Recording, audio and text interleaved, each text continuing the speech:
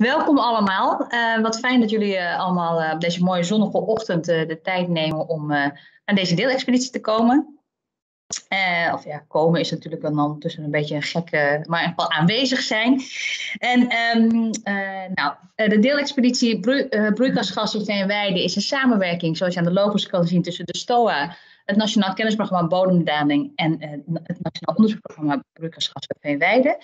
En in deze editie hebben we staat met name de Universiteit Utrecht Centraal en Beware. Uh, heel praktisch, dat hebben jullie waarschijnlijk al gezien. De sessie wordt opgenomen en op de website geplaatst. Uh, als je al daar bezwaar, uh, bezwaar hebt om er live bij te zijn, is het verzoek om later terug te kijken. En de opnames worden uiteraard met iedereen gedeeld. Sowieso met de mensen die zich aan hebben gemeld, maar ook via de reguliere media. Um, tot zover de huishoudelijke mededelingen. Dan uh, even korte inleiding op de sprekers. Um, de wij, uh, nou, het NOBV, ik hoop al dat ondertussen iedereen weet wat het is, maar misschien nog even ter toelichting. Mijn naam is overigens Poeimee Jan. Ik ben programmaleider, programmacoördinator bij de STOA voor dit specifieke onderzoek. En um, ik wil jullie kort iets vertellen over het NOBV. Zwaan, heb je van mij. Ja, dankjewel. Um, nou, waarom doen we het ook alweer? Uh, de meeste van jullie weten het waarschijnlijk wel, maar toch heel even in de herinnering. In het klimaatakkoord is voor het Fijnweidegebied afgesproken dat er een reductie uh, plaatsvindt van 1,0 megaton aan CO2-equivalent in 2030. Uh, eigenlijk weten we nog niet goed van alle maatregelen wat het effect is op die broeikasgasreductie. Um, uh, broeikasgas emissiereductie, moet ik eigenlijk zeggen. En, um, en daarom onderzoeken we een aantal maatregelen. Nou, dit is even de, hè, hoe, komt het ook alweer? Hè, door ontwatering, uh, komt de zuurstof de grond in, waardoor de steen oxideert. Ik zeg het nu heel simpel. Uh, de sprekers van zo meteen zullen wat dieper op ingaan hoe het nou, wat nou echt die onderliggende bodemprincipes zijn. Nou, we kijken naar drie typen maatregelen. Uh, wij kijken naar, of drie, drie categorieën maatregelen moet ik zeggen. Waterinfiltratiesystemen. Uh, nou, dat noemen we ook wel onderwaterdrainage of drukdrainage of pompgestuurde waterinfiltratie. Dat is één, die zijn ondertussen wel wat bekender, maar ook hogere slootpijlen. En uh, we gaan volgend jaar ook kijken naar, uh, of komend jaar ook kijken naar bijvoorbeeld greppelinfiltratie. dus er zijn allerlei vernattende, grondwaterstand verhogende maatregelen. We kijken ook naar teelten, nattere teelten. En dat is filter bij hogere grondwaterstanden tot uh, uh, in het water. Hè. Dus ik zie hier een aantal voorbeelden. De lisdollenvelden zullen ondertussen wel bekend zijn, zowel in Zegveld als uh, bij Assen Delft. daarnaast gaan we ook de komende tijd kijken naar andere nattere teelten. En tot, tot slot, daar kijken we ook naar bodemmaatregelen op dit moment. en een, een belangrijke daarvan, die wellicht ook ondertussen bekend is, het inbrengen van klei in het veen uh, geloof dat Marita ook kort iets over zal aanstippen. Nou, daar kijken we er specifiek naar. Daarnaast, vandaag specifiek, kijken we naar de microbiële processen in de bodem. Dat is eigenlijk inzicht in de bodemprocessen. En wat zorgt er nou voor uh, dat die broeikasgasemissies ontstaan? En wat zou je er tegen kunnen doen? En een verdieping daarvan staat vandaag centraal. Uh, dat, doen we, dat, dat doe ik niet, maar dat doen we gelukkig met drie ontzettend goede experts uit het onderzoeksconsortium. Namelijk Mariet Hefting en Laura Knops van de Universiteit Utrecht. Uh, die zullen zo meteen nog uitgebreid in beeld zijn, dus daar kunnen jullie dan ook mee kennis maken. En Gijs van Dijk van Beware. En welkom en heel fijn dat jullie dit voor ons doen. Uh, Mariet zal, um, de spits bij, zal de. En Mariet is, moet ik heel even spreken, universitair hoofddocent ecologie en biodiversiteit aan de Universiteit Utrecht. En uiteraard verbonden aan het onderzoeksconsortium van het uh, Nationaal Onderzoeksprogramma. Zij gaat ons meer vertellen over veenoxidatie en de processen die een rol spelen bij veenafbraak. Uh, ik vergeet trouwens nog één praktische mededeling. Jullie kunnen vragen stellen via de chat. Uh, en ik zal ze, de ervaring leert ondertussen dat die vragen uh, gaandeweg al door allerlei experts, ik zag heel veel onderzoekers in, de, in de ruimte zitten, beantwoord worden. Maar mocht dat niet zo zijn, uh, en, zal, en is het een specifieke vraag aan de spreker, dan zal ik die eruit vissen en dat na, na de, het praatje van de spreker even expliciet benoemen. Dus dat geven we als huishoudelijke mededeling. Dan wil ik graag het woord geven aan Mariet.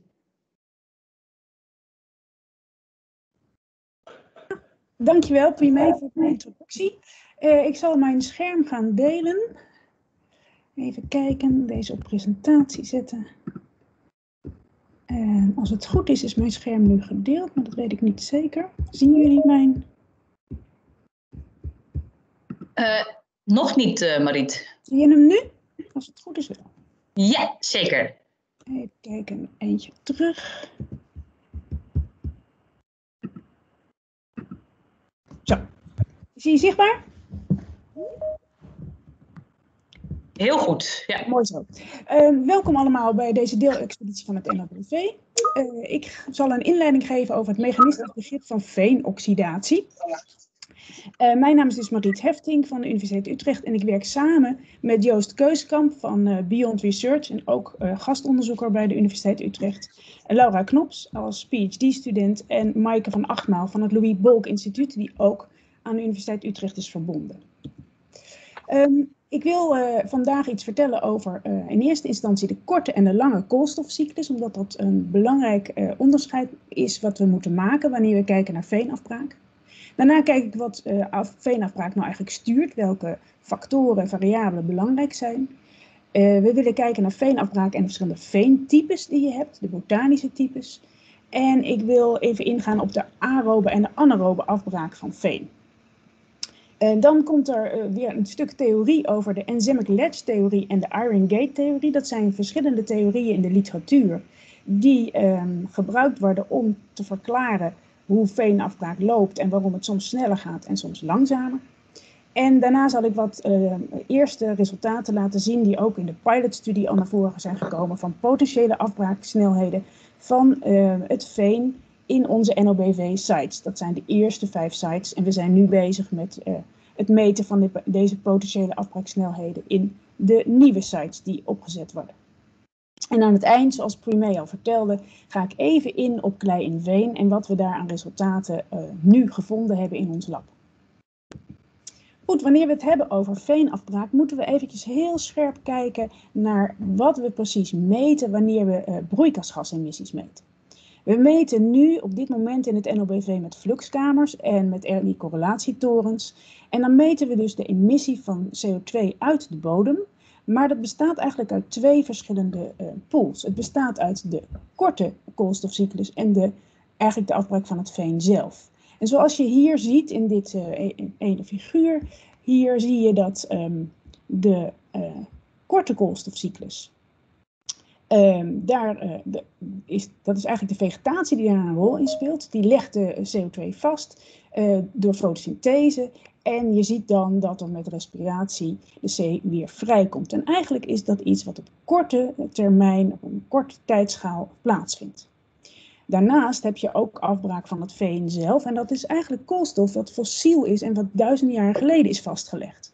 En je kan je uh, voorstellen dat die afbraak van het veen, sorry, die afbraak van het veen um, leidt tot de stijging van de CO2-concentratie uh, in de atmosfeer, terwijl die kortcyclische C leidt tot fluctuaties over uh, het jaar. En eigenlijk, waar zijn we in geïnteresseerd? In het terugbrengen van uh, het verlies van fossiel koolstof, dus de afbraak van het veen zelf. En het is best lastig om die twee processen te ontrafelen, omdat we dat meten als één grote flux uit de bodem. Goed, wat stuurt nou die afbraak van het veen? Nou, in eerste instantie natuurlijk de kwaliteit van het organisch materiaal. De fenolen die in het veen aanwezig zijn, de hoeveelheid lignine en ook stoffen zoals sphagnum. En ik zal later uitleggen wat dat is. Daarnaast uh, de zuurstofbeschikbaarheid en die wordt sterk ook gereguleerd door uh, het waterniveau en de watergevulde poriën. De temperatuur. Um, um, het is een biologisch proces, veenafbraak, en die zijn sterk temperatuurgevoelig. En we werken daar vaak met de Q10. Dat is de versnelling van het proces bij 10 graden temperatuurstijging. En die ligt vaak in de orde van 2 tot 3. Maar bij veenafbraak zien we zelfs ook wel uh, versnellingen van 4 tot een factor 6 uh, wanneer je kijkt naar 10 graden temperatuurstijging. Van 10 tot 20 graden. Daarnaast speelt pH een rol. Wanneer het te zuur is, breken de organismen het materiaal minder makkelijk af, um, groeien ook minder makkelijk. En als het wat basischer wordt, en bijvoorbeeld ook bekalking, zorgt ervoor dat de veenafbraak toeneemt. En micro-organismen hebben niet alleen uh, koolstof nodig om uh, te groeien en, en ehm, zich te vermenigvuldigen, maar ook uh, nutriënten. En daarom is de nutriëntbeschikbaarheid, met name stikstof en fosfor, een heel belangrijk sturend um, mechanisme in de bodem. Want zodra die micro-organismen harder kunnen groeien, kunnen ze ook harder eten. En als laatste het aanwezige microbioom, dus de micro-organismen die er zitten, de verschillende gemeenschappen die er zitten. En daar zal Laura Knops in haar presentatie verder op ingaan. Als we kijken naar veen, dan bestaat dat uit verschillende botanische types. We hebben hoogveen en laagveen. En het laagveen bestaat veelal uit zeggeveen, rietveen en bosveen. En die zeggeveen, rietveen en bosveen, die hebben een afbraaksnelheid, het staat hier een basale respiratie, die eigenlijk wel een beetje vergelijkbaar is. Die uh, basale respiratie um, uh, heeft ermee te maken met ho hoe makkelijk dat veen afgebroken wordt. Dat is de afbraak zelf, respiratie.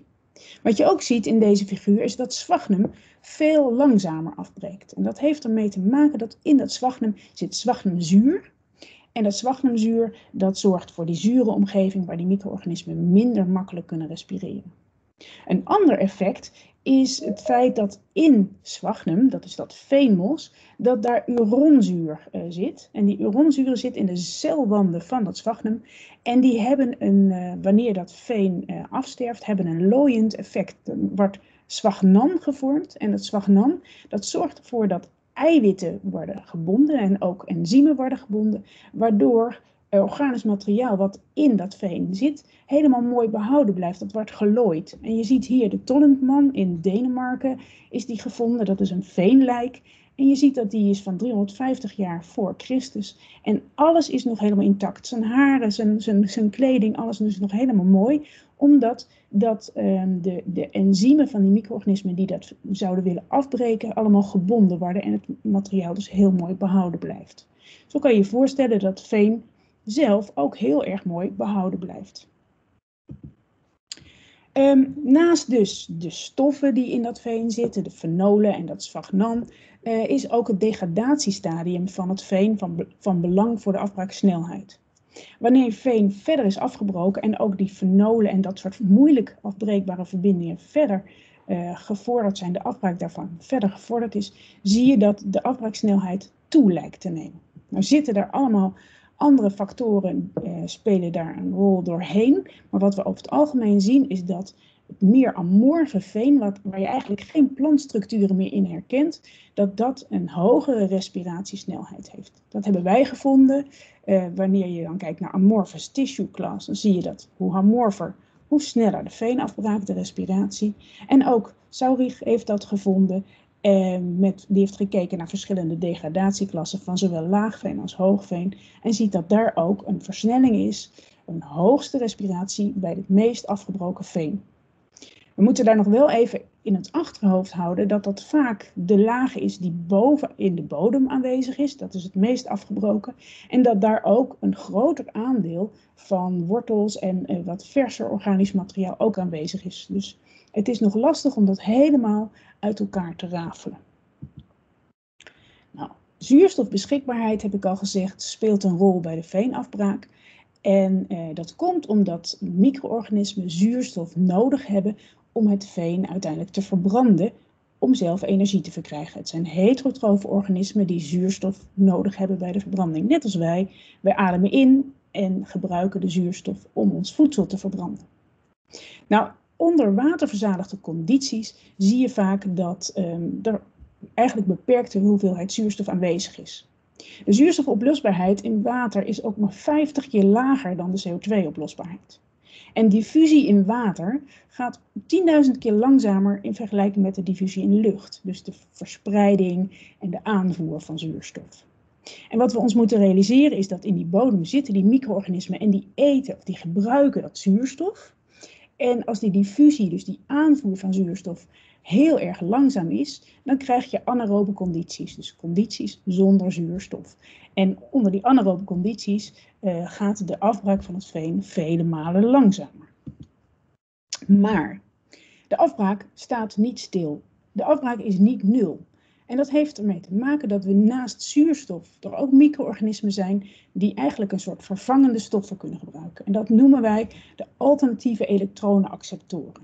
En hier zie je een, een figuurtje met de redoxpotentialen, bij welke redoxpotentiaal welke alternatieve elektronenacceptor wordt gebruikt. Klinkt allemaal heel ingewikkeld, maar in plaats van zuurstof zijn er micro-organismen die bijvoorbeeld nitraat kunnen gebruiken.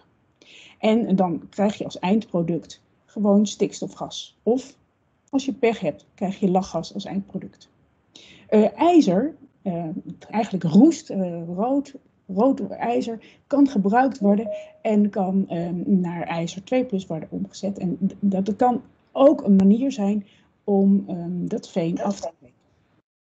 Wat dieper in de bodem, bij een wat lagere redoxpotentiaal, kan ook sulfaat worden gebruikt. En zelfs het organisch materiaal zelf waardoor er dan uiteindelijk als eindproduct methaan ontstaat. Dat zie je hier in het, de blauwe balkjes staan. Die afbraak van het veen onder zuurstofloze condities staat dus niet stil.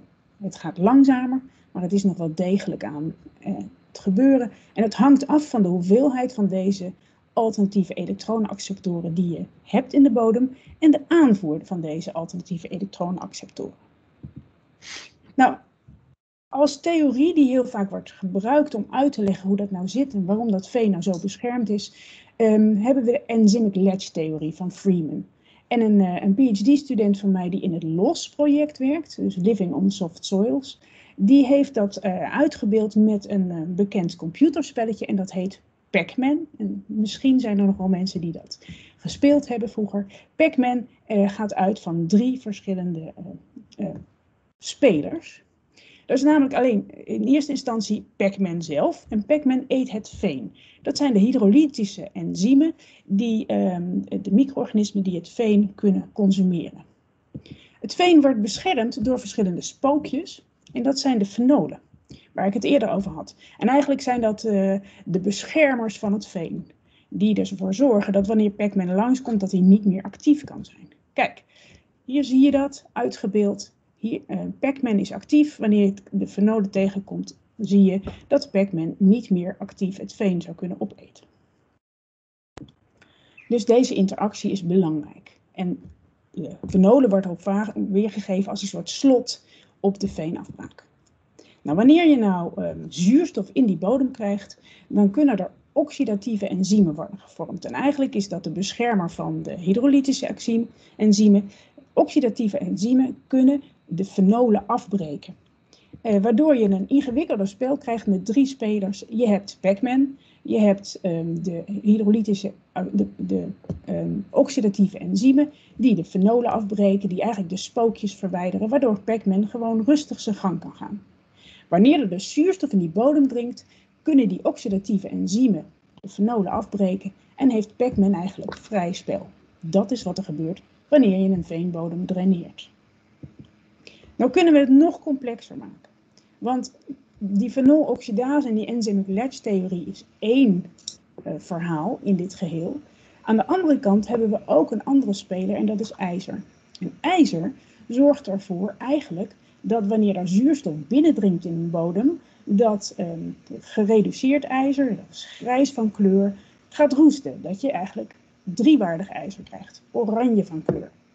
En dat driewaardig ijzer, dat uh, zorgt ervoor dat uh, lignine kan worden gebonden. En dat heeft ook een, uh, uiteindelijk een remmend effect op je fenoloxidase.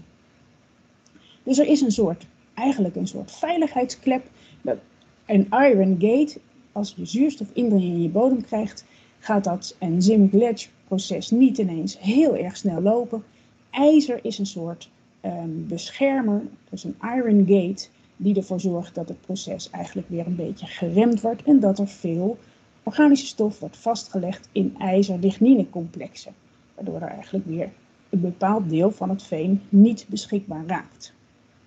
Dus het is complex, maar dit is wat er zich afspeelt in die bodem aan biogeochemie. Nou, bij het NLBV meten we in eerste instantie een veenbodem in drie verschillende lagen. We meten onder de wortelzone in de geoxideerde zone, direct onder de wortelzone.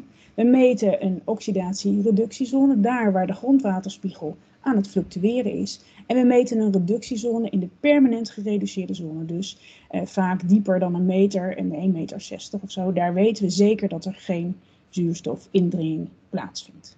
In deze drie zones eh, kijken we naar de uh, respiratie en dat doen we met een respirometer. We kijken naar de basisrespiratie, dus eh, hoe uh, het veen potentieel afbreekt. Dus eigenlijk een soort maximale snelheid van de veenafbraak. En dat doen we door te kijken in de tijd. We, laten monsters, uh, veenmonsters onder zeer optimale condities afbreken. En we kijken naar wel een, soort gestabiliseerde uh, afbraaksnelheid, de basisrespiratie. Daarna voegen we suikers toe, we voegen stikstof toe en fosfaat toe om te kijken of we het proces enorm kunnen opstuwen om te kijken bij hogere beschikbaarheid van nutriënten en bij hogere beschikbaarheid van uh, koolstof, wat dan die microbiële gemeenschap kan gaan doen. Dus het is allemaal potentiële metingen. Uit deze metingen kunnen we ook een indruk krijgen van de microbiële biomassa en de efficiëntie van die microbiële biomassa. Nou, bij de pilotstudie hebben we daar metingen aan gedaan aan de basale respiratie tussen de referentiesites en de maatregelensites van de verschillende eh, eh, locaties, Oldenborn, Assendelft, Drouwveen, Vlist en Zegveld. En wat we dan zien is dat eigenlijk die verschillende locaties het veen daarvan verschillend afbreekt. Dus het botanisch uh, veen is verschillend en je ziet ook dat de basisrespiratie tussen de sites niet vergelijkbaar is. Maar wat je ook ziet, is dat de referentie en de maatregelenplot, de basisrespiraties, wel vrij vergelijkbaar zijn. Met name is opvallend dat Assen-Delft een veel hogere basisrespiratie heeft. En we zien ook, wanneer we naar de microbiële biomassa gaan kijken, dat in Assen-Delft een hogere microbiële biomassa aanwezig is. In de drie verschillende lagen, maar met name in de bovengrond van deze uh, locaties in het maatregelenplot. Daar zie je echt een duidelijke verhoogde microbiële biomassa. Goed, eh, ik vertelde ook al dat we nutriënten toedienen in onze respiratiemetingen. En uit de eh, reactie van die nutriëntentoedieningen zien we eh, welk nutriënt eigenlijk limiterend is eh, voor die microbiële eh, activiteit. En in veel gevallen in de diepste zone, in de gereduceerde zone, zien we dat fosfaat um, beperkend is.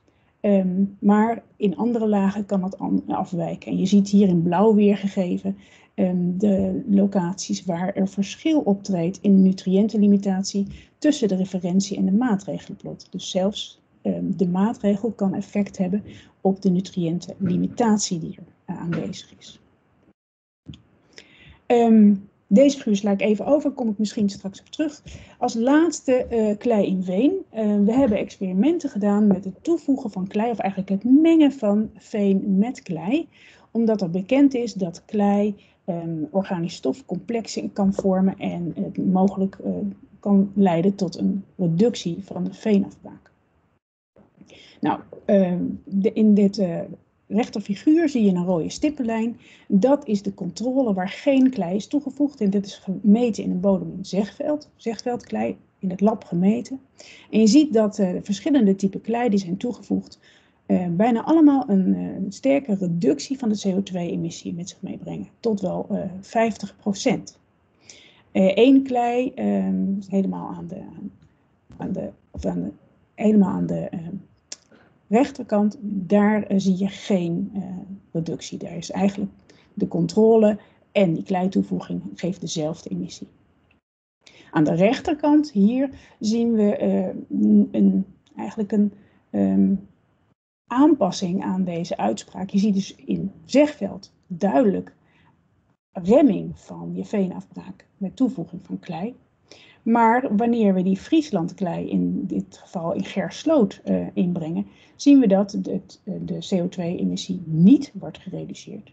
En sterker nog, in Olderlamer, als we daar die Frieslandklei inbrengen, zien we een stimulerend effect van die klei-inbrenging in het veen. Terwijl die Blankenbergklei, aangegeven met de groene blokjes, overal een remmend effect laat zien. Wat dit betekent is dat de combinatie van klei met veen, dus de, specifieke combinatie, uh, verschillende eindresultaten kan hebben.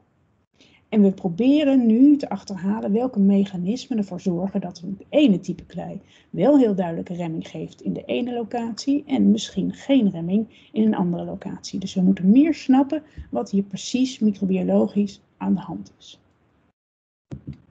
Goed, als we het nou samenvatten, wat zijn de take-home messages? Nou, veentype en het degradatiestadium van het veen, die beïnvloeden die afbraaksnelheid.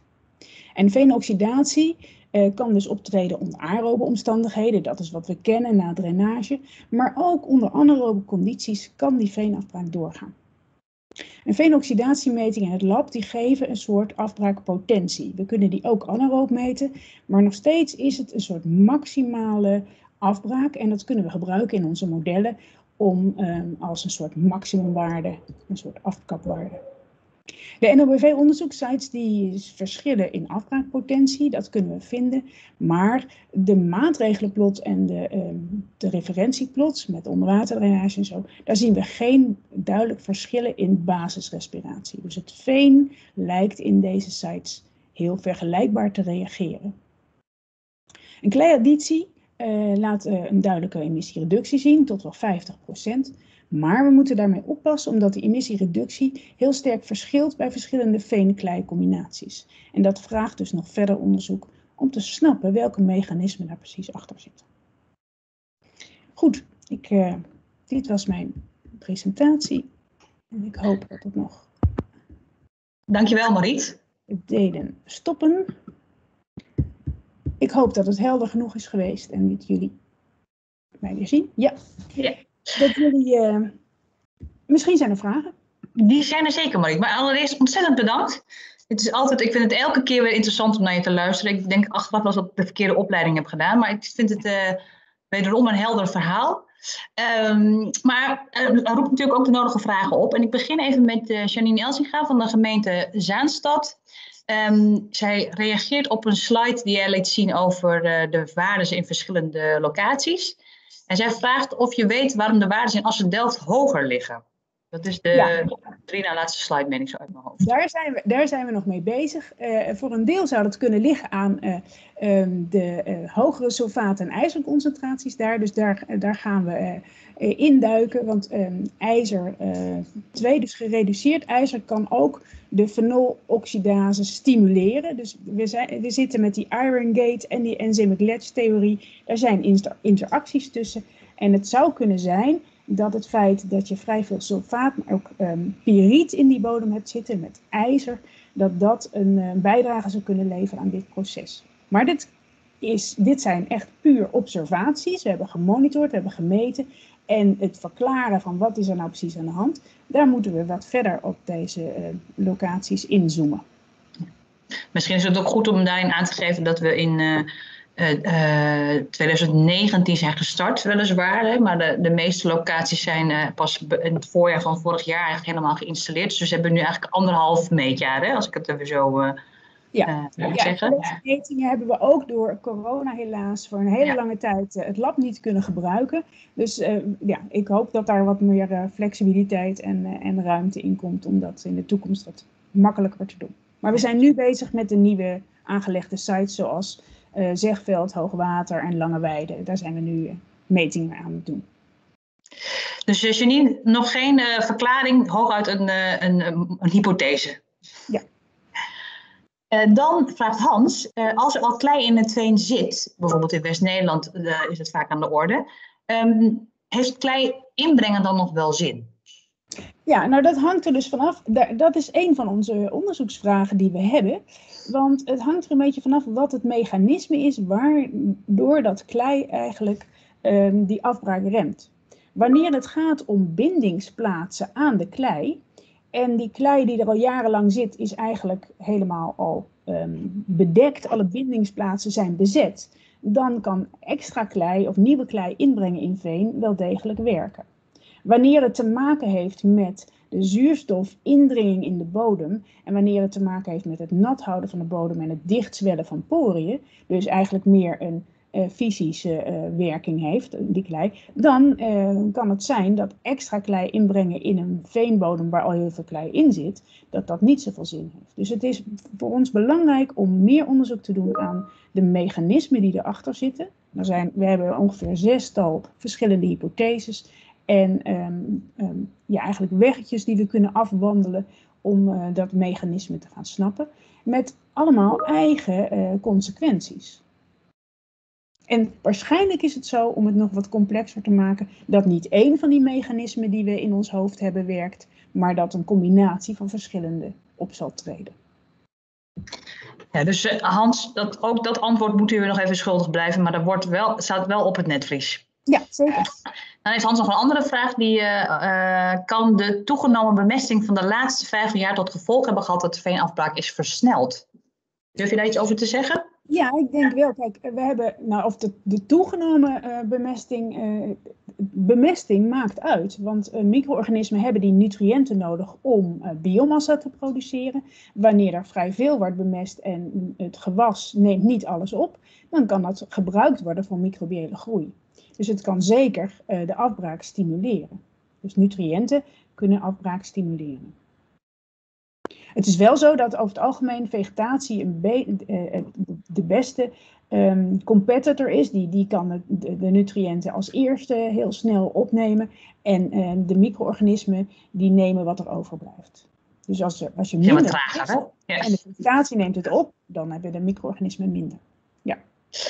Uh, dan stelt uh, Henk van Hardeveld uh, een gewetensvraag. Um, heel leuk Henk trouwens dat je de laatste tijd er weer vaak bij bent. Ik ben heel blij dat je je afdelingshoofdschap hiermee weer kan, kan combineren. Um, Henk vraagt, als niets zo heterogeen is als veen, kan je dan in het algemeen vooraf eigenlijk wel iets zeggen over afbraak? Of moet je per locatie eerst alle variabelen weten? En is het altijd lokaal maatwerk? Bijvoorbeeld, hij neemt als voorbeeld de Q10, hè, die soms een factor 4 tot 6 kan zijn in plaats van 2 tot 3. Uh, durf je daar iets over te zeggen, Mariet? Nou, het is niet maatwerk, maar het is onzin dat we toegaan naar dat we op iedere site een heel uitgebreid um, programma met metingen gaan uitvoeren. Dat kan helemaal niet. Dus wat we gaan proberen is snappen welke uh, sturende factoren zijn dominant en kunnen we dan een uitspraak doen op basis van wat grotere uh, uh, eenheden, zodat je het kan opschalen naar laagveen, hoogveen. Dus ik denk zeker uh, de heterogeniteit in die bodem speelt een heel belangrijke rol. En je ziet ontzettend veel uitzonderingen altijd. Maar we moeten wel proberen om dan op een gegeven moment met een helikopterview ernaar te gaan kijken en te zeggen, nou dit zijn de mechanismen. En op deze manier schalen we het op. En dat doen we ook door gebruik te maken van modellen. Dus het is het eerst snappen van wat er precies uh, plaatsvindt. En dan um, ja, durven om, uh, om met een helikopterview ernaar te gaan kijken. Is dat een voldoende antwoord op jouw vraag, Henk? Ja. Dan um, een, wordt hier gevraagd um, door Rob van der Hoek van HDSR. Wat is de invloed van verzilting door stijgende zeespiegel en dalende bodem? Nou, de invloed van verzilting die is um, uh, ja, meer, er zitten meer aspecten aan. Een van de uh, invloeden van verzilting is dat micro-organismen in eerste instantie een zoutshock kunnen ondergaan. Dus dat de, uh, de veenafbraak uh, gereduceerd kan raken. Carlijn Browns heeft daar onderzoek aan gedaan. Die ziet dan een reductie met het toevoegen van zout. Aan de andere kant breng je met zout water en met zout breng je ook een heleboel sulfaat in die bodem.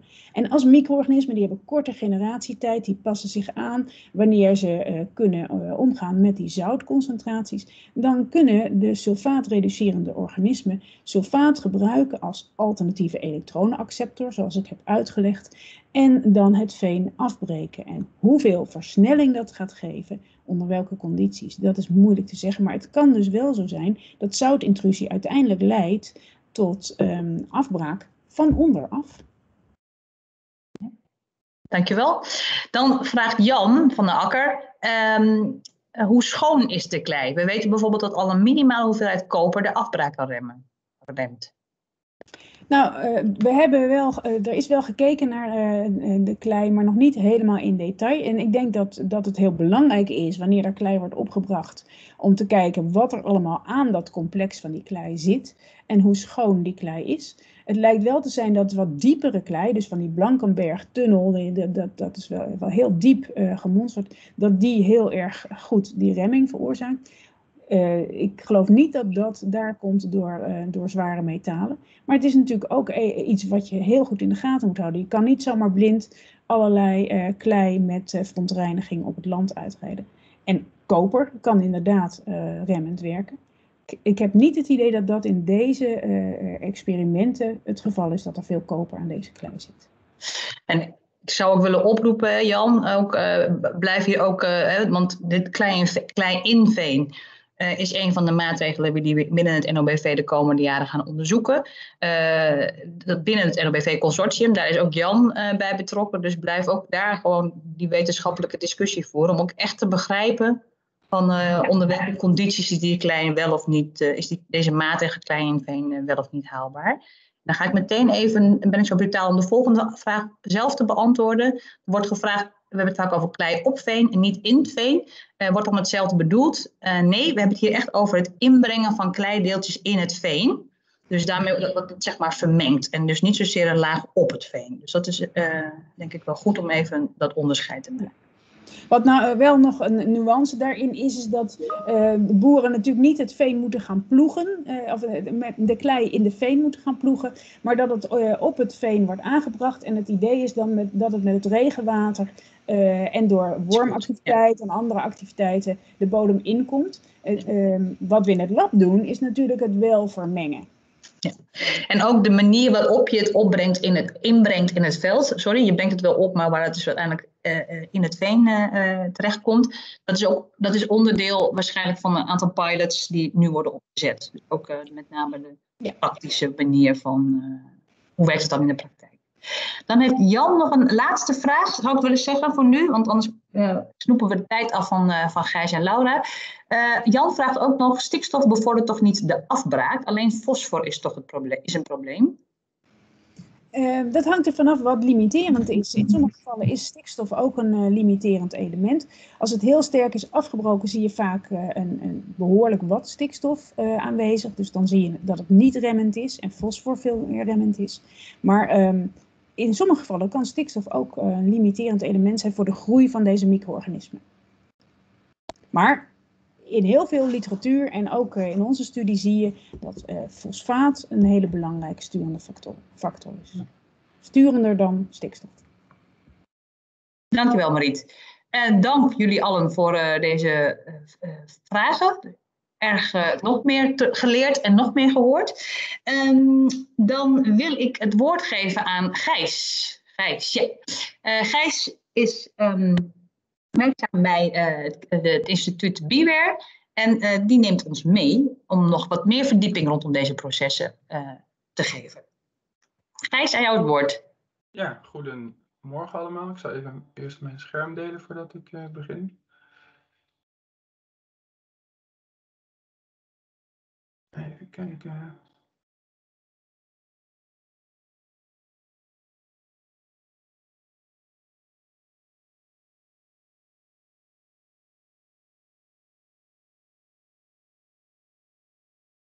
Zo. Is het uh, bij iedereen uh, in beeld? Het is uh, goed zichtbaar, Gijs. Oké. En misschien, ik vergeet helemaal Gijs te introduceren. Want ik noem hem bij, hij werkt bij Bierwer. Hij is onderzoeker uh, biochemie, ecohydrologie en landschapsecologie van veenweidegebieden. Dat klopt, hè Gijs? Uh, ja, nou ja, het zijn eigenlijk meer veengebieden algemeen, uh, maar daar kom okay. ik zo op terug. Prima. Ehm, ja, welkom allemaal. Ik zal zeg maar een kort verhaal maar gaan houden over biogeochemische processen in het veen. en doe dat mede namens mijn collega's V. Harperslager, Bas van Riet en Fons Smolders.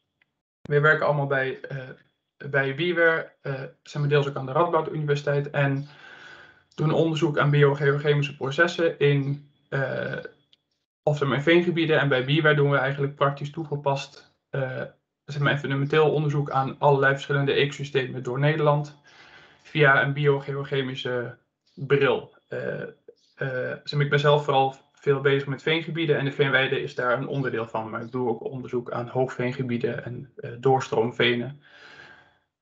Um, even kijken. Ik ga even heel kort, heel kort wat zeggen over wat, uh, wat wij als Beware doen binnen het programma. kort hoe en wat wij precies doen. Dan ga ik in op een, op een aantal processen. En zal aan de hand van die processen ook al wat eerste resultaten laten zien. Daar zal een deel aan chemie uh, uh, zal langskomen, maar wees niet bang. Een deel is ook al door Mariet als wel mooi geïntroduceerd. En ik ga wegens de tijd ook niet al te diep stof in. Dus we zullen zeg maar, een aantal zeg maar, deze processen behandelen. Ehm, het is echt zeg maar, ook allemaal veel te leuk en soms ook behoorlijk complex. Dus ik zal echt niet alles kunnen gaan behandelen. Um, maar er zullen een aantal processen uh, elf, elf wel langskomen. En uh, wat heel vaak een rol speelt zijn de redoxprocessen. Uh, en dat wordt allemaal zeg maar, weer beïnvloed door de waterstand en door de hoeveelheid zuurstof die er wel of niet in het zeg maar, veen aanwezig is. Um, en juist zeg maar, hoeveel, hoeveel zuurstof er in de bodem uh, zeg maar, zit, wat de, samenstelling van de bodem is en wat de waterstand is. Dat zijn nou juist dingen waar wij op uh, al deze onderzoekssites mee bezig zijn en waar we ook mee sturen. Dus dat maakt het allemaal uh, super interessant. dus daar kom ik zo verder op terug. Um, de rol van, uh, van onze B-web binnen dit hele programma is dus zeg maar, eigenlijk vooral maar, gericht op de biogeochemie. Eh, op eh, meer inzicht in de bodemgesteldheid. en om dat ook als een soort van verklaring te gebruiken voor sturende processen en hoe dat weer invloed heeft op de broeikasgasemissies. Nou, wat wij vaak zien is dat de, of, zeg maar, dat de chemische samenstelling zeg maar, vaak een hele zeg maar, grote invloed um, heeft op al deze processen, op, zeg maar, op de beschikbaarheid van koolstof, van stikstof, van fosfor. ja, en dat, zoals als we net ook verteld door Mariet, weer een hele grote invloed kan hebben op de zeg maar, afbraak in veen, de broeikasgasemissies en daarmee ook op de bodemdaling. Het voordeel daarvan is dat je uh, soms met vrij simpele chemische metingen ook al een aardige inschatting of zeg maar gewoon voorspelling zou kunnen uh, uh, doen van hoe hard zo'n bodem af gaat breken of wat zeg maar, verschillende maatregelen voor consequenties kunnen hebben op de broeikasgasemissies. Uh, heel erg simpel is het nou ook weer niet, dus het is vaak ook wel complex, zoals jullie net ook al gezien hebben en wat ik zo meteen nog zal gaan melden. Maar het is wel goed om een beetje in het achterhoofd te houden dat dit ehm, ja, ja, soms ook heel handig kan zijn om een soort van eerste beeld te kunnen krijgen van hoe een bodem kan reageren. onze methode. Uh, onze aanpak is eigenlijk dat wij op allerlei plekken en dieptes watermonsters nemen. Zowel in het controleperceel, wat jullie links zien, als in het maatregelenperceel, waar de drains zijn geplaatst. Um, en wij nemen dan monsters van de bodem. we nemen monsters met keramische cups van het bodemporiewater. Dus daarmee kunnen wij zuurstofloos zeg maar, het grondwater verzamelen, zeg maar, precies op de diepte die wij willen. Um, we nemen zeg maar, ook tegelijkertijd watermonsters uit de drains, uit de sloten. Um, en dat doen we allemaal op, uh, uh, op zeg een aantal tijdstippen in het jaar, op verschillende zeg maar, dieptes in de bodem en op verschillende afstanden van de drains. Um, tot nu toe doen we dit op alle zeg vijf locaties. Uh, en dit gaat uiteindelijk gaan we dit op alle uh, tien locaties doen. Uh, op al deze monsters uh, of, of meten wij een hele reeks aan parameters. Zoals, zoals zeg maar, zwavel, stikstof, fosfor, ijzer, allerlei verschillende zeg maar, vormen van koolstof. en nog heel veel meer.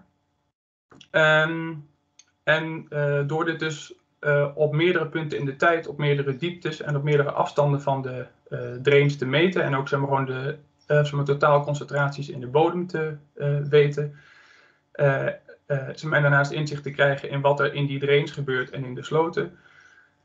kunnen we door het, of, zeg maar, door het jaar heen kunnen we eigenlijk behoorlijk goed inzicht krijgen in wat voor processen er allemaal spelen. En als we dit dan ook nog eens kunnen koppelen aan alle andere mooie metingen die binnen dit hele consortium gemeten worden, zoals de grondwaterstanden, de redoxen, de, uh, als we met de broeikasgasemissies zelfs en de afbraken in het uh, veen. Op deze manier kunnen we met z'n allen veel meer inzicht krijgen in wat voor processen er nou precies spelen en uh, zeg maar, hoe de maatregelen die wij zeg maar, nemen met z'n allen, hoe dat doorspeelt op de veenuitbraak en de broeikasgasemissies.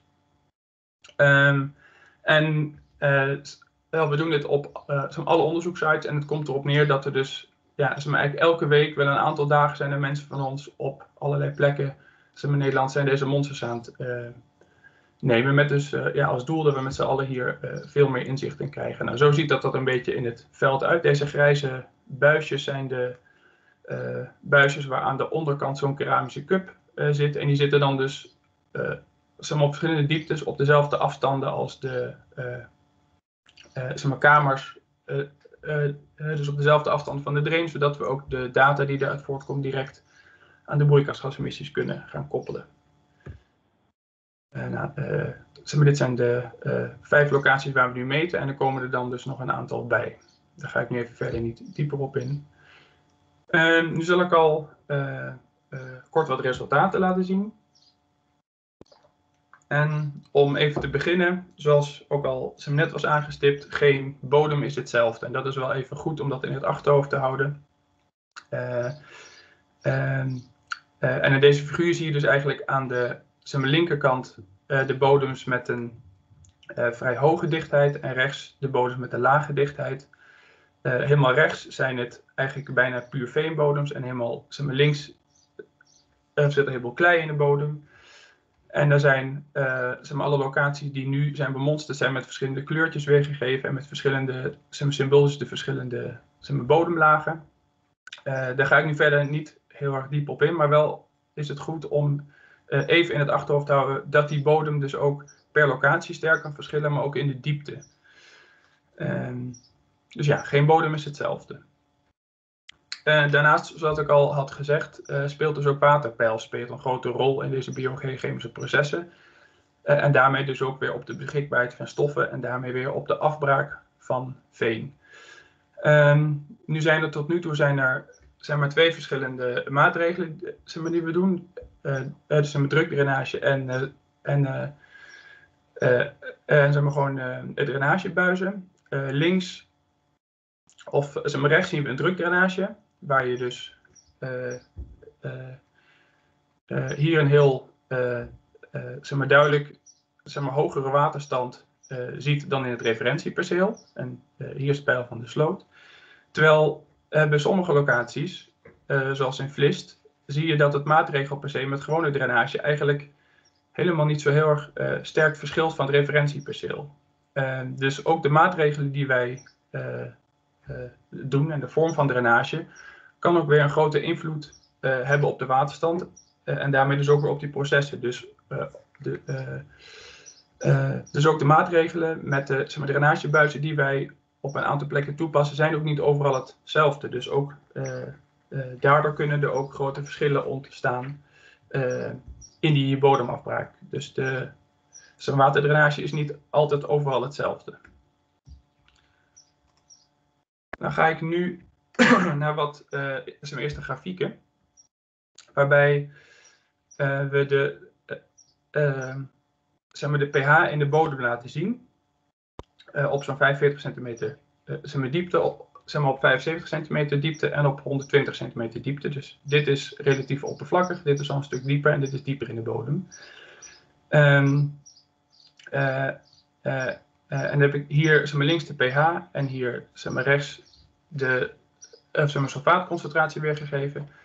En dan is rood is het controleperceel zonder drains en blauw is het maatregelperceel. En dan zie je hier al, al uh, hele grote verschillen in ontstaan. Uh, en dan zie je dus bijvoorbeeld dat uh, of, zeg maar, op de plekken waar de drukdrains liggen, dus is de pH een stuk hoger en is de, zeg maar, maar, is de beschikbaarheid van sulfaat lager. En dat zie je dus, ehm, zeg maar, in de diepte neemt dat effect af. dus op een punt als zeg maar, als wij hier dus op, als we de drukdrains toepassen, zeg maar, stijgt de pH, zeg maar, zeg maar, zeg maar, stijgt ook de beschikbaarheid van zwavel. hoe komt dit nu? Nou, op het punt als, als hier in de controlepercelen de waterstand zeg maar, zakt, dan neemt zeg maar, zeg maar, de, beschikbaarheid van zuurstof neemt toe in de bodem.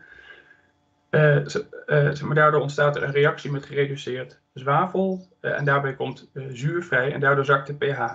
Op een punt als hier dus met een drukdrain er meer water in het perceel staat en de waterstand hoger is, kan er dus minder zuurstof intreden en treedt het proces minder snel op. Dus dit is maar een van de voorbeelden waaraan al duidelijk te zien is dat er dus zeg maar, biogeochemisch heel wat kan gebeuren als er met die waterpijlen wordt gespeeld. Daarnaast meten we natuurlijk ook op verschillende afstanden van de drain. dus hier, zijn, hier heb ik links maar dezelfde concentratie van chloride weergegeven en rechts weer zwavel. Of eigenlijk sulfaat. wederom op verschillende dieptes, dus wederom zeg maar op, op, op zo'n 45 centimeter diepte, 75 en 120 onder maaiveld. En hier heb ik dan zeg maar, figuurtjes weergegeven met de afstand vanaf de drain. En dan is dus uh, uh, 0, dus deze paarse lijntjes, is eigenlijk vlak bij de drain. Uh, op zo'n anderhalf meter afstand van de drain. En in blauw op 3 meter afstand van de drain. En rood is dan weer het zeg maar, controleperceel, dus daar zijn geen drains. En daar is hier heel mooi te zien dat dus ze met de drain, zeg, maar, zeg ook wat brakker water vanuit de sloot in dat zijn perceel wordt gebracht. Hoe dichter bij de drain, hoe hoger. Dus dat zie je hier heel mooi in terugkomen. Ehm, en ook daarmee zie je dus weer dat dus, zeg maar, dat effect, hoe, of zeg maar, je dieper in de bodem komt, speelt dat ook nog, maar heeft dat al een wat of minder sterk effect. Um, en wat je hier ook mooi terug ziet komen bij sulfaat, is dat je eigenlijk daar weer hetzelfde proces, dus je ziet wat ik net al aangaf, uh, met hoe dieper de waterstand zeg maar, zakt, hoe meer zuurstof erbij komt in het veen en hoe hoger de beschikbaarheid is zeg maar, van sulfaat. En zien we hier dus weer dat dus hier op het zeg maar, controleperceel, dus zonder uh, drains daar dus meer zuurstof de water of uh, de veenbodem in kan komen en daardoor dus ook een hogere beschikbaarheid van sulfaat. En hier zien we dan ook dat dus die andere lijntjes ineens zijn omgedraaid. Dus dat je op, uh, op zeg maar, drie meter afstand zeg maar, zeg maar, van de drain kan er meer zuurstof de bodem in komen en is de waterstand ook wat lager ehm, dan op, dan op zeg maar, anderhalf meter afstand van de drain. Eh, zeg maar, nog uh, minder dicht bij de drain. Dus ook zowel op diepte als op zijn afstand van de drain zie je dit soort processen optreden. Um, wat wij uh, ook zien terugkomen is dat die, die zeg maar, buizen ehm, brengen natuurlijk ook een hoger zeg maar, contact van van zuurstofhoudend water in die veenbodems in.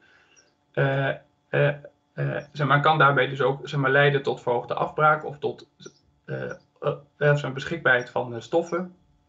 en we zien bijvoorbeeld zien wij op een zeg maar, aantal punten sterk verhoogde zeg maar, fosforconcentraties in die drains. en soms ook zeg maar, zeg maar, tijdelijk behoorlijk hoge concentraties van sulfaat in die drains. Nou, zeg maar, dit zou bijvoorbeeld ook zeg maar, zeg maar, sterk negatieve consequenties kunnen hebben voor de waterkwaliteit in die sloten. Als die drains ertoe leiden dat er bijvoorbeeld zeg maar, meer fosfor wordt zeg maar, afgevoerd vanuit die percelen naar de sloten, zeg maar, zou dat een effect kunnen hebben. Dus dit zijn wel dingen waar we zeg maar, ook binnen het programma goed naar moeten kijken. en ook in de toekomst goed rekening mee moeten houden. Um, wat ik net ook, al, uh, zeg maar net ook al even aanstipte, is die beschikbaarheid van uh, zwavel. Um, en uh, wat we zeg maar, zeg maar, bijvoorbeeld zien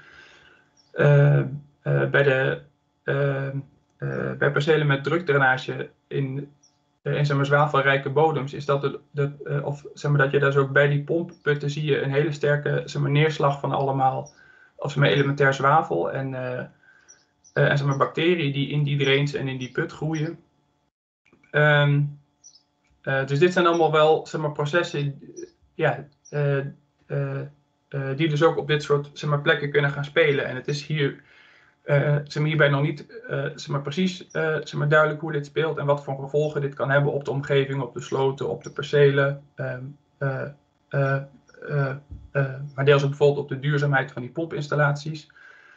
Dus dit zijn ook dingen waar we nog wat proeven aan willen doen. En ehm, of wat je goed kunt voorstellen is dat er dus in zo'n veenbodem, maar ook om zo'n drain heen komen, zeg maar, allerlei uh, zeg maar, gradiënten van zuurstof, uh, zeg maar, rijk naar zuurstofarm. Uh, dus ja, qua zeg maar, biogeochemie en zeg maar, microbiologie is dat een heel zeg maar, zeg maar, groot feest van allerlei verschillende processen die erbij af kunnen spelen. Dus dat is ook wel zeg maar, erg interessant en boeiend om daar ook onderzoek aan te doen, om ook ja, gewoon beter inzicht te krijgen in wat voor effecten die er eens precies hebben. Um, nou, wat zou ik jullie samenvattend mee kunnen geven? uh, die uh, uh, zeg maar, verschillende typen van drains en zeg kunnen dus tot zeg maar, grote gevolgen leiden in verschillende waterpeilen.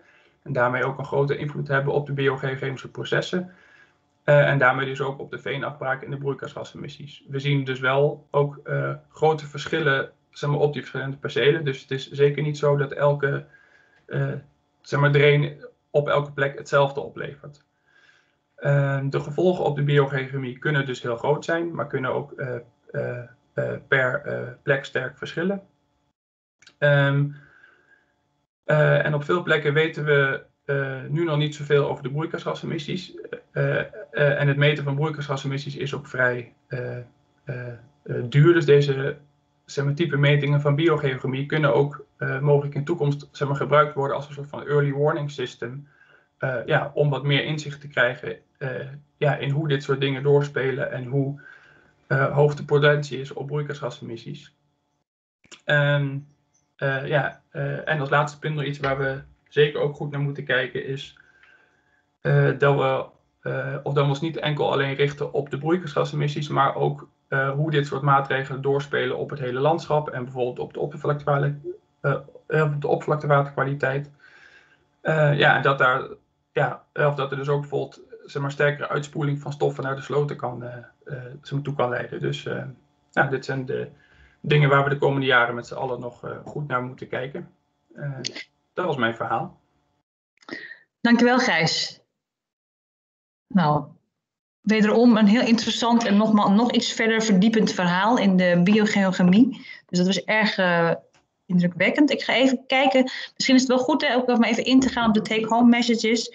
Um, binnen het NOBV richten wij ons primair op uh, broeikasgasemissie. Nou, Gijs merkt recht op, en dat hebben wij ook in de haalbaarheidsstudies aangegeven, waar ook een aantal webinars over georganiseerd hebben en een aantal studies van uitgevoerd zijn. Dat, dat het maar één aspect is en dat er veel, je noemt specifiek waterkwaliteit, um, wat ik uh, goed snap. En uh, nou, zo zijn er andere, andere aspecten zoals biodiversiteit, maar misschien ook de bedrijfsvoering van de agrariër, gewasopbrengsten, verzin het, maar allerlei zaken die heel erg bepalend zijn of een veenweidemaatregel uh, acceptabel is of haalbaar is. goed om dat te melden dat dat, dat, nou, dat, nee, daar doen wij niet primair iets mee, maar dat wordt wel in een aantal pilots al uitgebreid onderzocht en zal ook binnen een nog op te starten onderzoeksprogramma, pilotprogramma binnen het klimaatprogramma worden opgepakt. En daar hebben wij vanuit NOBV ook nauwe samenwerking mee. Dus dat is even goed om. Uh, enerzijds doen we er niet zo heel veel mee als NOBV, en anderzijds wordt het wel degelijk opgepakt en gaan we daar als NOBV ook een belangrijke rol in spelen. even zien. Dan wordt de waterkwaliteit. Even kijken. Ik moet even terug, want een aantal vragen zijn denk ik ondertussen al beantwoord. Um, de meeste zijn al. Oh nee, ik zie hier nog een vraag van Frank. Is deze voor Gijs Frank, of is het meer een vraag voor uh, Mariet nog? De vraag over hoeveel fosfor het gaat op jaarbasis. Het flow is van fosfor naar de sloten. Um, dus ik ben nieuwsgierig over, heb je, kan je een inschatting maken over hoeveel hebben we het dan over? Uh, we hebben in polder, de kennis op pijl, hebben daar ook metingen aan gedaan. En daar was de flow uh, in ieder geval niet heel groot. Dus ik ben wel nieuwsgierig als je het hebt over heel veel en heel groot, over hoeveel heb je het dan eigenlijk? Uh, nou, daar hebben we, of, hebben we wel eens een meting gedaan aan uh, concentraties in de drains en in de sloten. Zeg maar, het viel ons in ieder geval op dat die dus zeg op een aantal punten in de tijd in die drains behoorlijk hoog kunnen zijn. En, en, zeg maar, dat is hoog in onze zeg maar, context van metingen die we vaker op dit soort zeg maar, type percelen doen.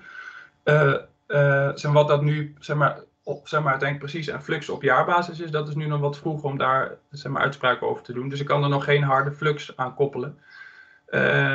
en dat is ook deels een beetje lastig, omdat wij in die uh, drains natuurlijk vooral zeg maar, concentraties uh, zeg maar, meten op bepaalde punten in de tijd. En we zijn nu nog er ook hard zeg maar, zeg maar, zeg maar, uh, ja, ja, voor mee bezig om te kijken hoe we op een beste manier een inschatting kunnen maken.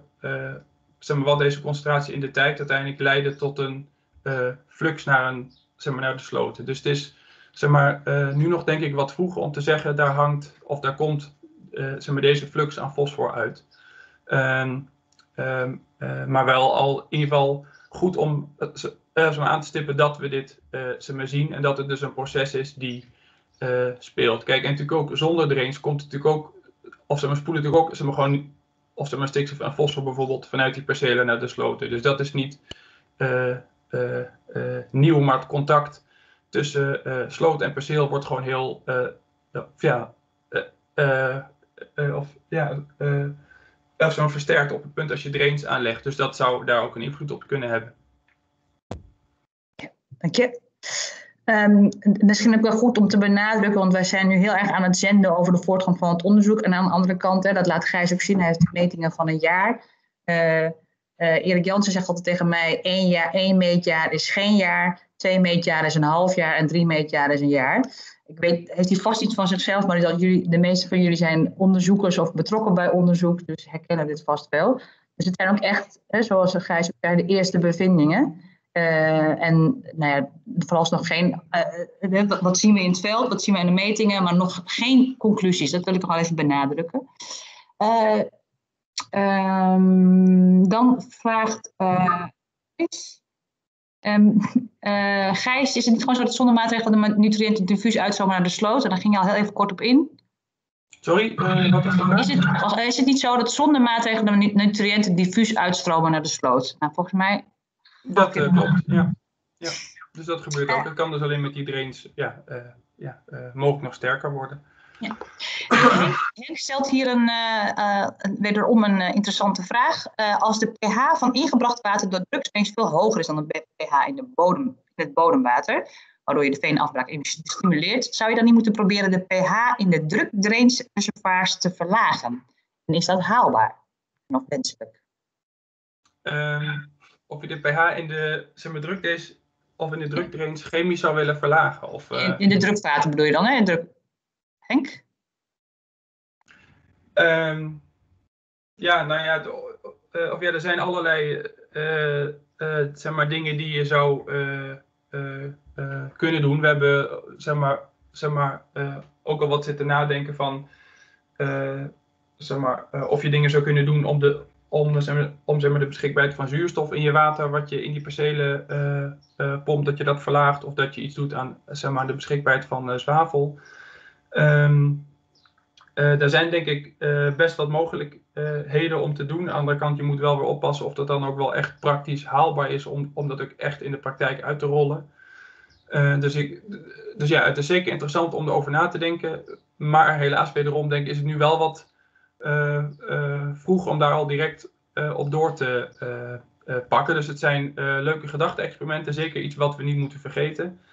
Maar de focus moet nu denk ik eerst nog even liggen op het uh, nog veel zeg maar, verder ontrafelen van welke processen er nou allemaal precies spelen en hoe die drains en verschillende vormen van drains en de mate uh, van invloed van water uh, doorspeelt op die processen voordat we. voordat we de maatregelen gaan optimaliseren. Ja, hè? Ja. ja. Dankjewel, Gijs. Mariet, Ik geloof dat Mariet ook wat wil zeggen daarop nog. Ja. ik wil daar even op aansluiten. Het feit dat je in de gedraineerde plots een wat lager pH vindt en in de, uh, niet, de maatregelplot een hoger pH, zou ook een heel gunstig uh, beeld kunnen zijn. Want het zou kunnen betekenen dat er minder afbraak plaatsvindt. Want met afbraak krijg je altijd verzuring. Dus um, wat dat betreft zou je ook kunnen zeggen, nou, uh, het, het, lijkt te werken. Alleen zien we dan nog niet alle effecten meteen. En het zou kunnen zijn dat dit in de toekomst positief uitpakt. Dus het is, we moeten ook niet zwart-wit nu allerlei conclusies gaan trekken. Uh, pH-verlaging door afbraak treedt op. En als je dus minder afbraak hebt, heb je een uh, minder sterke pH-verlaging. Dan heb ik nog een, dankjewel Mariet. Dan heb ik nog een laatste vraag van Rob. Vanaf de camping volgens mij. uh, uit de kader water al normen in verband met risicovervaring oppervlaktewater door druk en onderwaterdrainage heeft. Nou, ik denk het eerlijk gezegd niet. Uh, omdat het niet zo specifiek, ik denk dat het niet zo specifiek maatregelgebonden is. Maar als iemand anders mij dat kan, uh, nee. ik zie wat mensen die dit beamen. is dat er niet, nee, nee. nee.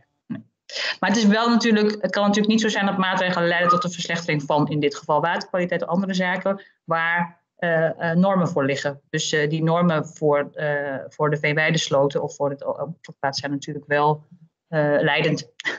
Ja.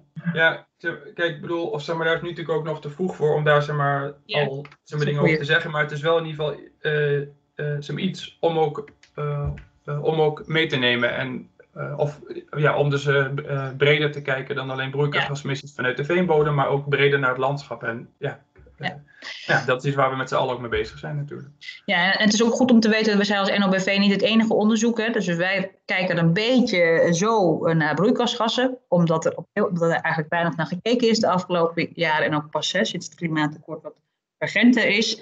Uh, uh, wij haken ook aan op allerlei uh, pilots. En die pilots kijken gelukkig veel breder. en dan maatregelen specifiek. Erik vroeg terecht toe, en bij proefpolder kringlooplandbouw uh, beekwaterinfiltratie een positief effect hebben op waterkwaliteit. En dat is ook iets wat uit de um, haalbaarheidsstudies uitgezocht is door het Louis Bolk Instituut. Dus dat, volgens mij heeft mijn collega Suzanne ondertussen ook een linkje naar die rapporten toegestuurd. Uh, daar wordt heel duidelijk ook een korte en een lange onderscheid gemaakt tussen korte en lange termijn effect. Dus dat is ook goed even om uh, naar te kijken. Dus Gijs zegt terecht, hè, dit is wat we nu zien, maar met alle nodige nuances uh, die er is. Dus um, tot zover het verhaal van Gijs. Um, dan, oh, ik zie dat ik een beetje uitloop, maar uh, ik wil jullie niet het volgende onthouden. Um, je zag in de presentatie van Mariet al even een, klein, een foto van uh, um, uh, het lab. En Laura en, en Mariet hebben een heel leuk filmpje gemaakt over wat ze nou precies in het lab doen. Dus voordat ik Laura het woord geef, wil ik heel even laten zien Um, wat uh, Laura en Mariet en, en, Joost en alle andere collega's nou uh, doen daar in het lab. En uh, dat doe ik niet voordat ik Laura heb geïntroduceerd. Laura is PhD aan de Universiteit Utrecht, waar zij onderzoek doet naar de afbraak van veen. En zij richt zich vooral op de rol van bodemleven bij veenafbraak. En daar gaat ze ons meer over vertellen. Um, en nou ja, in het lab zien we, vertelt ze al het een en ander, introduceert ze haar onderzoek al. En daarna volgt er nog een korte presentatie. Wil iemand de video starten?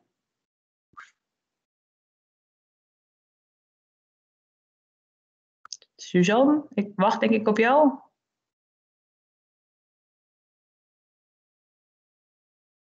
Suzanne of Zwaan, denk ik. Ja, hij wil bij mij niet starten. Ik ga het opnieuw proberen.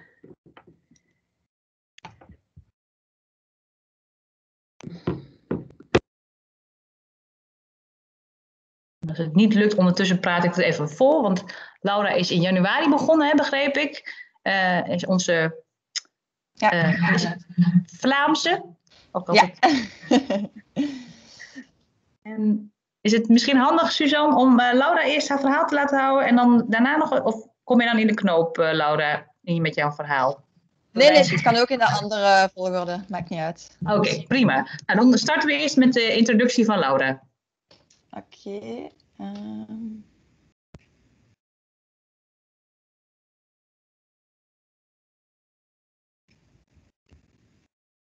Zien jullie mijn scherm nu? Ja, zeker. Ja. Oké. Okay. Ja, dus uh, zoals Pumé al heeft uh, verteld, ik ben Laura Knops en ik heb een bachelor in geografie en een master in zoetwaterecologie uh, gedaan op de VUB in Brussel. En ik heb dat gedaan omdat ik altijd al geïnteresseerd was in klimaatverandering en ook echt wou begrijpen hoe die processen die daarachter zitten eigenlijk in elkaar zitten.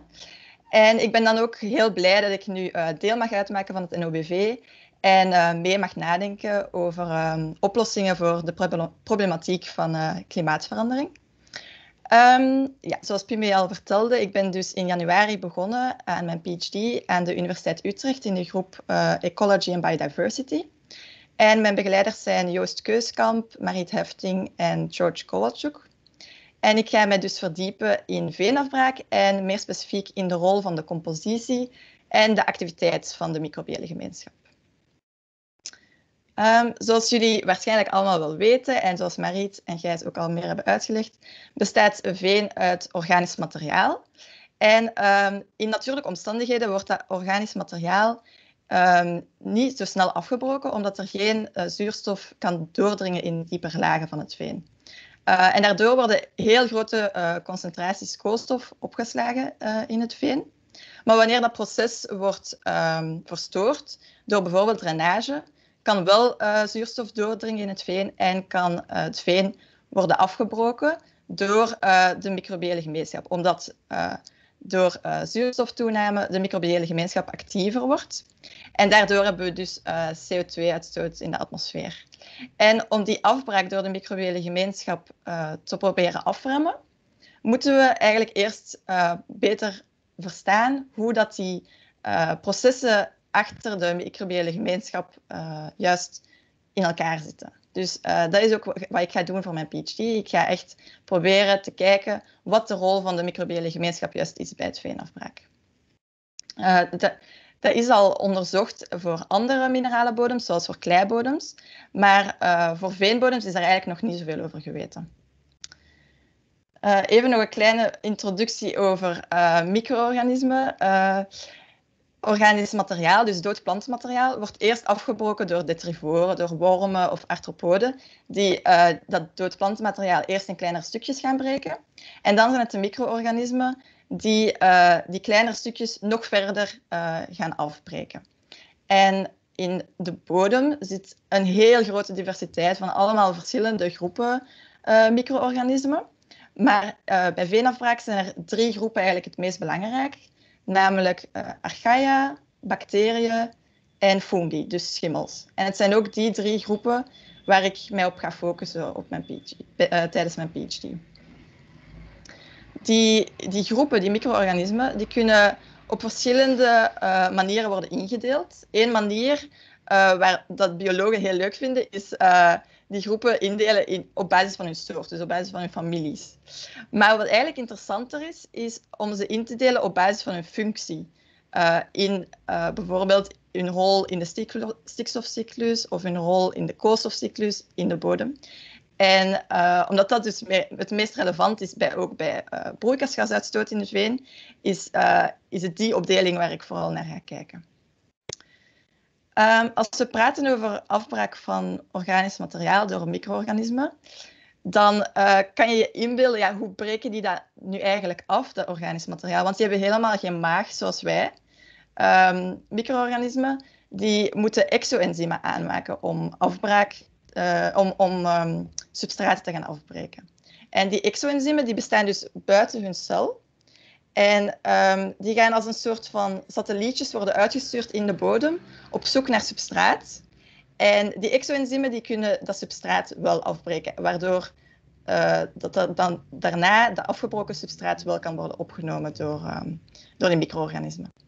En uh, er bestaat gemakkelijk afbreekbaar substraat en uh, meer complexe substraat, zoals bijvoorbeeld suiker is heel gemakkelijk om, uh, om af te breken. En daarvoor moeten micro-organismen niet zoveel energie steken in het aanmaken van enzymen.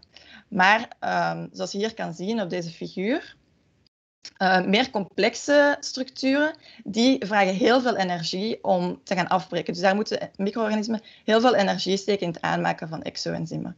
Dat wordt hier nog eens duidelijker in dit figuurtje. Waarbij je bijvoorbeeld ziet, uh, cellulose is moeilijk, uh, moeilijker afbreekbaar dan glucose, omdat cellulose bestaat uit een uh, aaneenschakeling van allemaal glucosemoleculen. En dan bijvoorbeeld lignine, hier rechts. Um, dat is nog veel complexer. Hier is dat nog maar een 2D-figuur, maar eigenlijk is dat een 3D. is een hele structuur die echt super moeilijk afbreekbaar is en waar micro-organismen dus veel energie in moeten steken. Um, in de bodem zijn er dus verschillende soorten groepen organismen. En er zijn groepen die uh, enkel die gemakkelijke substraten kunnen afbreken. En er zijn ook groepen die die complexere structuren ook in stukken kunnen breken. Um, en om het heel zwart-wit te stellen, het is eigenlijk niet zo zwart-wit, maar dat is nu om het uit te leggen, kan je je inbeelden dat er twee grote groepen zijn. Je hebt uh, de snelle snackers, die dus uh, bijvoorbeeld suiker en zo gaan afbreken, dus een gemakkelijk afbreekbare fractie. En de trage veeneters, die de moeilijke uh, afbreekbare fractie gaan afbreken en dus, dus echt het fossiele veen gaan aantasten. Je, ja, het is belangrijk om te weten dat dus zowel uh, in de twee groepen allemaal archaea, bacteriën en schimmels zitten. En dat ook, die twee groepen zijn altijd aanwezig, maar zijn niet altijd even actief. Dus um, het, is, het is bewezen dat recent onderzoek heeft aangetoond dat de afbraaksnelheid van het veen heel erg afhangt van um, welke groep er net actief is in het veen. En dat is uh, waar ik verder op ga ingaan voor mijn PhD. Um, hier ook in dit figuurtje is het een beetje duidelijker opgesteld. Uh, hier kan je zien dat, hoe dat die compositie van de microbiële gemeenschap eruit ziet, dus welke groepen het meest actief zijn, afhankelijk is van omgevingsfactoren, zoals Gijs en Mariet al hebben uitgelegd. Ehm, bijvoorbeeld de zuurstofhoeveelheid of de vochtigheid of temperatuur of de zuurtegraad, heeft allemaal uh, invloed op uh, hoe actief die enzymen kunnen zijn en, dus, um, en ook welke groepen het meest actief zijn. En die omgevingsfactoren worden dus beïnvloed door de maatregelen die worden genomen in het veengebied, bijvoorbeeld de waterstand of welke vegetatie wordt geteeld, of bodemaanpassingen, zoals Pumé al vertelde, over, als, bijvoorbeeld als klei wordt toe, toegevoegd. Dat heeft allemaal invloed op hoe de microbiële gemeenschap er gaat uitzien. En daarnaast heeft ook uh, het type veen uh, invloed op de microbiële gemeenschap. Dus het botanische type zoals uh, zeggeveen of mosveen of zo. En dat allemaal samen heeft dus invloed op hoeveel en hoe snel veen gaat worden afgebroken. Um, ja, dus tot nu toe heb ik, uh, ben ik bezig geweest met de pilotstudie die we hebben opgezet, om al een eerste beeld te krijgen van uh, de activiteit van de microbiële gemeenschap op de verschillende locaties die er nu al zijn uh, van het NOBV. we hebben dat gedaan um, met de respirometer en met ecoplates. Normaal leg ik dat uit in het filmpje, dus als, jullie, als dat nog werkt, zullen jullie dat straks kunnen bekijken, hoe we dat juist hebben gedaan. En daarnaast ben ik bezig aan uh, mijn proposal voor mijn PhD. En uh, ik ga jullie nu een beetje verder uitleggen wat ik juist uh, ga doen voor mijn PhD. Mijn PhD bestaat uit twee grote delen. Ten eerste wil ik weten wat de invloed is van maatregelen op de microbiële gemeenschap. Dus echt gaan meten van welke maatregel bij welke maatregel, hoe ziet de microbiële gemeenschap eruit en wat betekent dat voor hoeveel broeikasgassen er worden uitgestoten. En ten tweede wil ik um, proberen te achterhalen of we met nieuwe maatregelen de gemeenschap kunnen sturen en dus een verschuiving kunnen brengen in die gemeenschappen naar meer snelle snackers en minder actieve trage veeneters om ervoor te zorgen dat de, uh, het veen dus trager wordt afgebroken. Uh, het eerste deel van mijn PhD, zoals ik al zei. Oei, uh, ik hoor mezelf dubbel nu opeens. Uh, het eerste deel van mijn PhD, dat ga ik doen um, aan de hand van sampling op de verschillende locaties van het NOBV. Ik ga mij vooral toespitsen op de bovenste twee meter, de bovenste veenlaag, omdat daar um, de, de maatregelen het meeste invloed op hebben. en dan ga ik respiratie meten op uh, zowel oxys als anoxische respiratie, dus de CO2-uitstoot van de microbiële gemeenschap. En dan ga ik ook eh, DNA-analyse doen om echt te kunnen kijken van welke groepen zijn er net actief op die bepaalde locatie. En om dan die locaties met elkaar te kunnen vergelijken en om te zien of, ehm, ja, welke invloed die maatregelen dan juist hebben op, hoe de groepen er, uh, op welke groepen er actief zijn. En dan het tweede deel van mijn PhD.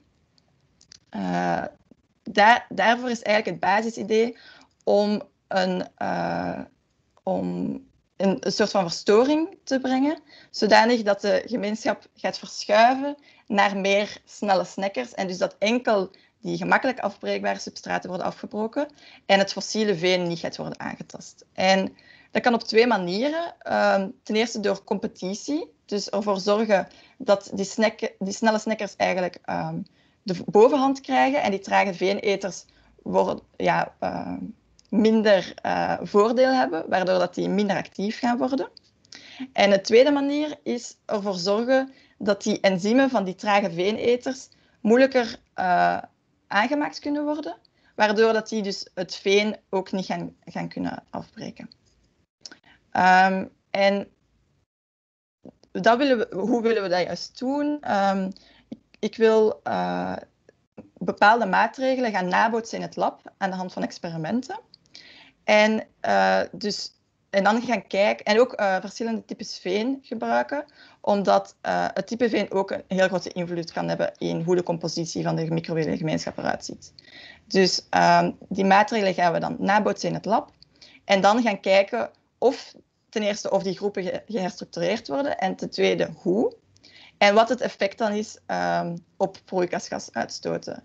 En um, hopelijk zijn dat dan uh, zijn die maatregelen die we dan uh, uitproberen ook haalbare maatregelen voor in de praktijk dan ook toe te passen.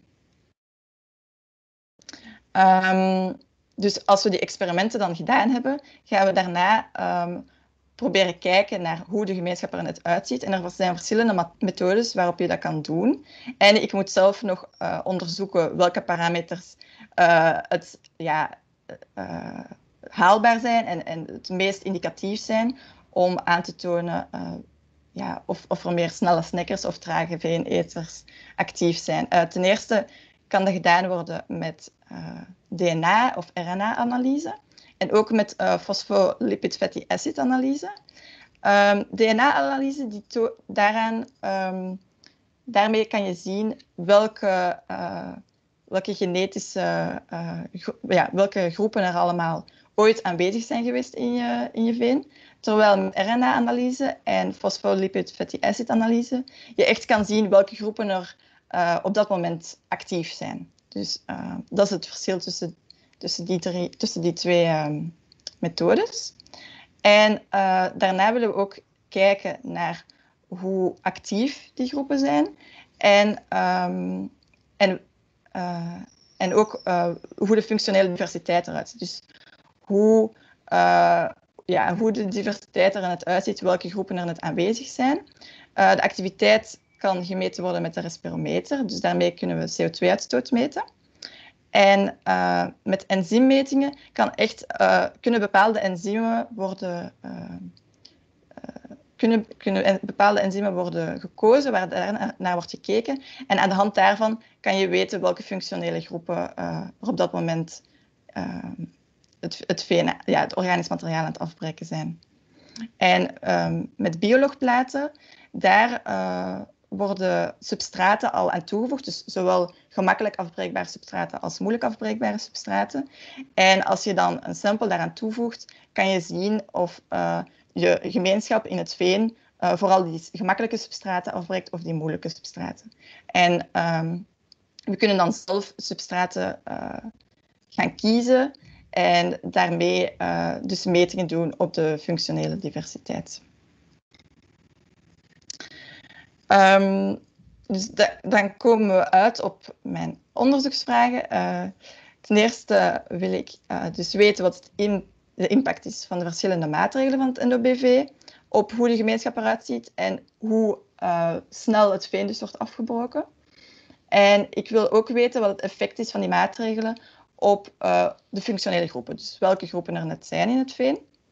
En daarnaast ga ik ook met experimenten bekijken of er een effect is van sezonaliteit en van veranderingen in bijvoorbeeld redoxreacties op die functionele groepen. En dus hoe snel het veen wordt afgebroken. En als laatste wil ik weten of ja, welke maatregelen kunnen genomen worden om dus die trage veeneters minder actief te maken. Dus uh, ja, met de twee grootste doelen van mijn PhD is dus eigenlijk om de kennis van de microbiële gemeenschap te vergroten. En uh, dat gaan we doen aan de hand van uh, kijken wat het effect is van de maatregelen op uh, de compositie en dus op broeikasgasuitstoot. En hopelijk kunnen we nieuwe maatregelen vinden die de microbiële gemeenschap kunnen sturen.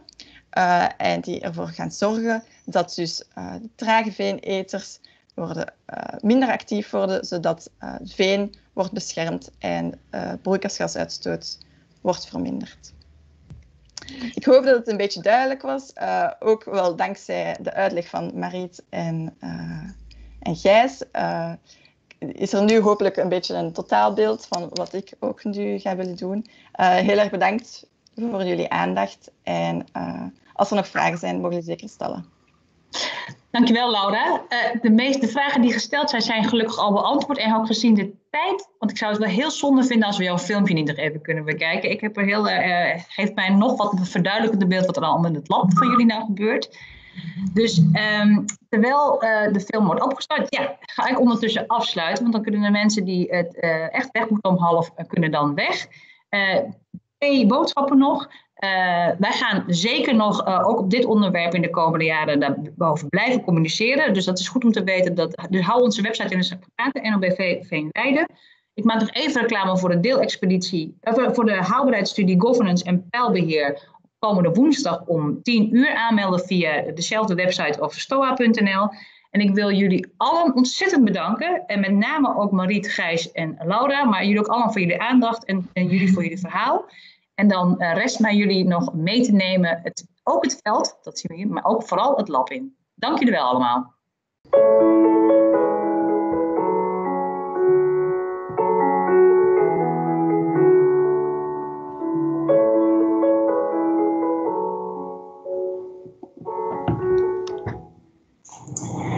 We staan hier nu in het lab van de groep Ecology and Biodiversity van de Universiteit Utrecht. En het is hier dat de samples die op de verschillende locaties van het NOBV worden genomen, naartoe worden gebracht om dan analyses uit te voeren op de microbiële gemeenschap. Uh, we voeren hier verschillende analyses uit om zowel een beeld te krijgen van de activiteit als van de compositie van de microbiële gemeenschap van de verschillende locaties van het NOBV. Um, een van de methodes die we gebruiken is Community Level Physiological Profiling met EcoPlates van Biolog. En uh, die platen van Biolog bestaan eigenlijk uit 3 keer 32 wells, die allemaal gevuld werden met een ander substraat, zoals bijvoorbeeld glucose. En elke well werd ook gevuld met een kleurstof. En die kleurstof uh, gaat van kleur veranderen wanneer een bepaald substraat gaat worden afgebroken door het microbioom. En wij gaan nu um, samples vanuit het veld eerst verdunnen en dan daarna al die wells uh, met dat bepaald sample vullen.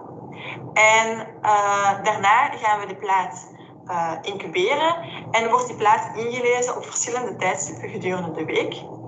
En we gaan zien dat um, al die wells niet op, dezelfde, op hetzelfde tijdstip van kleur veranderen. Um, aan de hand van uh, hoe snel een well van kleur is veranderd en hoe snel een substraat dus is afgebroken, uh, kunnen we een beeld krijgen van de activiteit van het aanwezige microbioom en ook van de densiteit. En daarnaast um, zegt het karakteristiek patroon van die kleurverandering van al die wells op die plaat iets meer over uh, de functionele diversiteit van uh, het microbioom. Omdat um, op één bepaalde locatie misschien um, gemeenschappen zijn die eerder uh, gemakkelijke gemakkelijk afbreekbare substraten gaan afbreken, terwijl andere gemeenschappen ook substraten gaan kunnen afbreken die moeilijker afbreekbaar zijn. We staan hier nu in het lab met de klimaatkamers en ik heb hier een pilotstudie opgezet met uh, veen vanuit het veld. Ik heb verschillende buisjes gevuld met veen, zoals je hier kan zien. En elke week worden er exudaten toegevoegd aan die buisjes. Uh, die moeten de chemische stoffen die vegetatie normaal uitscheidt in het veld nabootsen. En we willen hiermee te weten komen of dat uh, door die toevoeging van die exudaten um, de gemeenschap gaat veranderen naar meer uh, opportunistische groepen. Die vooral uh, suikers en gemakkelijk afbreekbare substraten gaan afbreken. En door competitie zou zo de groepen die het fossiele veen gaan aantasten benadeeld kunnen worden. En op die manier zou dus het, het fossiele veen beschermd kunnen worden van veenafbraak. Daarnaast meten we ook de respiratie van de monsters met de respirometer. Um, daarvoor worden de monsters eerst gehomogeniseerd en in verschillende subsamples verdeeld. En die subsamples worden dan aangesloten aan de machine, waar de respiratie gedurende drie dagen wordt gemeten. Zo, nu hebben jullie al een eerste idee van wat wij hier allemaal doen in het lab. En we houden jullie zeker op de hoogte van de voortgangen van ons onderzoek.